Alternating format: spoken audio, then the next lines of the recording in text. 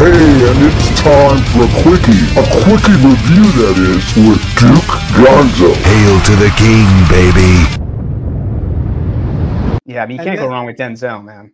No, he's supposedly he's supposedly in the new Gladiator movie too. Yeah, and then he's also been cast as Hannibal Hannibal Barca. Uh, he and Antoine Fuqua are going to shoot a Hannibal Barca, General Hannibal Barca movie, I think this year. And um, you know, of course, everybody's up in arms about, or some people are up in arms about them race swapping Hannibal Barca, even though nobody really knows what skin color the guy was.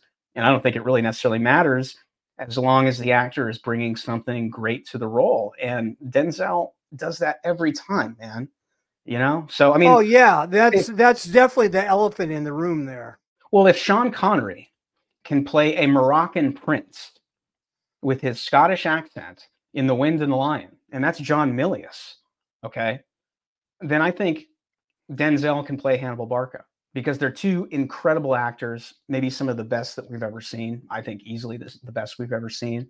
And, um, you know, I, I don't like the race swapping when it's just for the sake of race swapping. When they do race swap and they bring somebody in who's really talented, you know, like Samuel L. Jackson as Nick Fury or, um, you know, Red in Shawshank that, um, uh, what's his, what's his name played? Um, um, who am I thinking of? Why am I Tim- blanking on on, uh, Tim on, on Robbins. No, um, Morgan Oh. Freeman's character Oh, was oh, originally Freeman. yeah, yeah. he, he was he was written as a white guy in Stephen King's novel.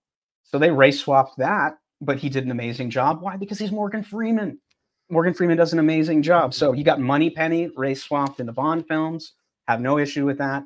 She's fantastic. She's also really hot.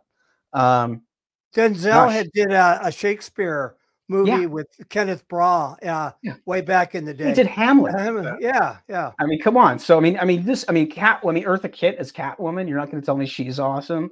Um, you know, Perry White. You had um, Larry Fishburne. He did a good job. He's not Jackie Cooper, but he did a good job. I thought Um, Jackie Cooper was perfect. He's perfect, dude. He's the he is the ultimate Perry looks- White. He looks like Perry White. He looks just like him. And then and then I think about even um, Jeffrey Wright as Jim Gordon in the new Batman.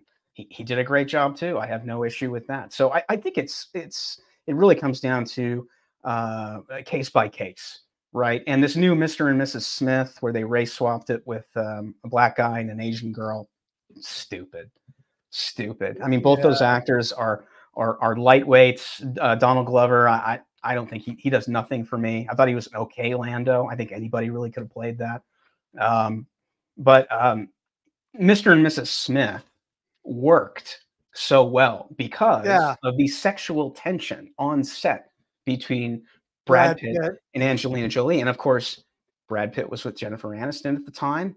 And that movie is where Angelina Jolie and Brad Pitt fell in love and destroyed that relationship. So there's a backstory to that. And on top of that, Brad Pitt and Angelina Jolie were huge, huge, huge stars at the time. So to put these two huge stars, which have which are maybe two of the most beautiful people on the planet, uh, and have all this sexual tension, real life sexual tension behind the scenes, is partially why that movie was such a huge success. So I predict the new Mr. and Mrs. Smith will flop.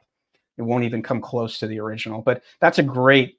Uh, I think that's a perfect example of race swapping uh, characters where it it just doesn't work because the actors are, are not heavyweights and therefore they're not really bringing anything interesting uh, to the role.